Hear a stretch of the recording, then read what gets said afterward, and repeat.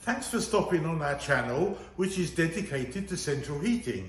And as you can see, I've been doing this a long time. Whether you install or you have heating, hopefully my videos will make a difference, but please leave me a comment in the section below. Lights, action, camera, let's begin. Before we can begin fault finding, we need to make the place safe for us to work in. And in this book, the very first thing that we look at is in page 12, which is called the electrical safety test. And there's six pages all the way up to page 18, all to deal with earth, short circuit, and polarity tests that have to be done before you can start doing any fault finding.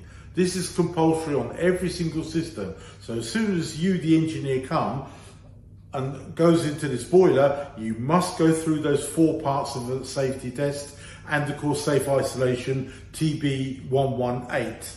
There are two ways to uh, put electricity into here. We can either use a plug with a 3 amp fuse of course, uh, unswitched socket and here's a photograph or we can use a double pole spur. Now, as I've covered in other videos, double pole spurs can be extremely dangerous because a lot of them aren't double pole, they're single pole, and when you switch the thing off, the boiler is still live because you can have electricity coming from the controls upstairs in the airing cupboard. So, so the first thing we've done here is we're having a look. Very first thing is use your eyes and have a look inside here. Are there any telltale signs? Have a look at the automatic air vent if it's inside. Is it loose or does it look rusty like this picture does?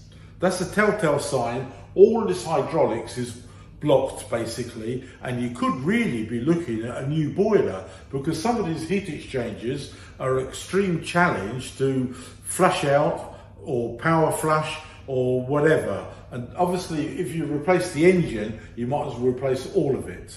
So have a look at some of these side panels as well. The insulation or fireproofing stuff, but mostly the soundproofing as well.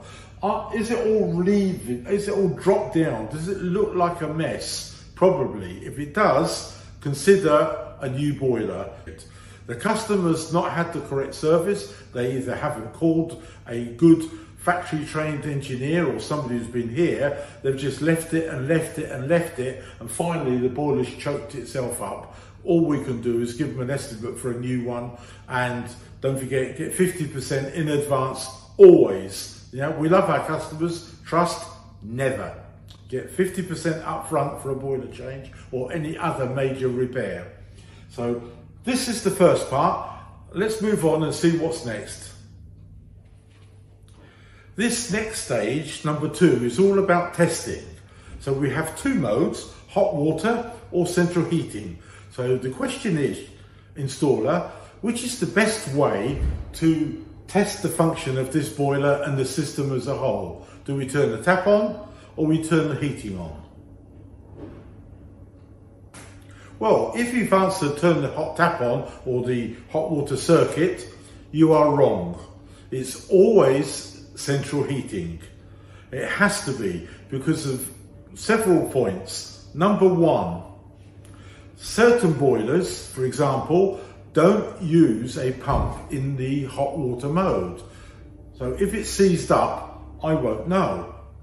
Also, if you turn the tap on and casually walk away, and maybe this boiler's at the other end of the house, or even worse in the loft, whilst that tap's running, I don't think the householder's are going to be jumping for joy watching that perform. So that's a couple of reasons why central heating mode is really the best.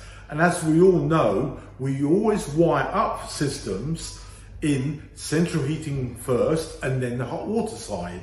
When we do fault finding, we do central heating fault finding comes first and then the hot water side because heating is the most expensive part of our gas or oil bill. So therefore it makes sense for us to concentrate on the heating. So before I'm going to turn on the boiler, I'm going to go over to the room thermostat and turn it down. So normally this would be maybe 18 degrees or 17 degrees. Make sure it's a nice low temperature, which it should be.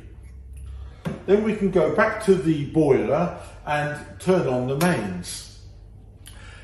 It may have a function where it does a pre-ignition test, moves the diverter, moves the fan, checks the sensors, the water pressure, all that sort of thing, and then it'll be nice and quiet, ready for a demand. So always look in the manual for the boiler that you're working on because that will tell you exactly what will happen as soon as you put 230 volts onto that PCB. So now we've turned it on, we're going to put the heating to constant or on. Always those two settings, either constant or on that. Then we go back to our room thermostat and we press and hold the top button until it clicks and then we know that it's going to kick into action and the boiler fires up. So what we've actually done is we've checked that the programmer is plugged in and the room thermostat is plugged in because we have lots of installations where the room thermostat is either broken or it's not actually wired up. And this very simple test tells us if the boiler starts to fire up, everything is fine. But if it doesn't, we need to find out which part has gone wrong. Is it the programmer not getting the electricity and not coming out? So the electricity going into a programmer is called the common. The electricity going out from the programmer into the room thermostat is called switch live. The electricity going into the room thermostat is called the common and the electricity leaving is called switched live which then goes back to the boiler to fire it up. So it's just a continuous 230 volts or wireless, whatever they're using. But somehow or other, when the room thermostat is in demand, that boiler should respond. And we can do another test. What we can actually do here is just measure whether on the heating side, you've actually got a signal coming back from the room thermostat. So now the boiler's up and running and it's working fine,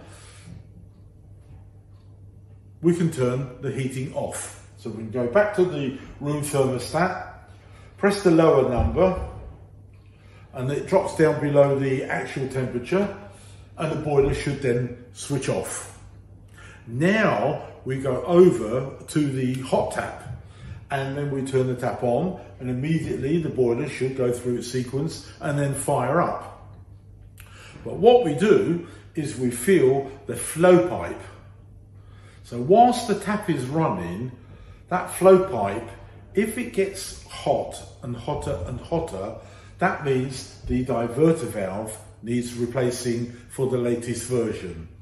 Not a recon, we can lend them a recon, but we're basically going to change from broken to the latest version, as we do with all components. And that's the very first test we do is the diverter valve.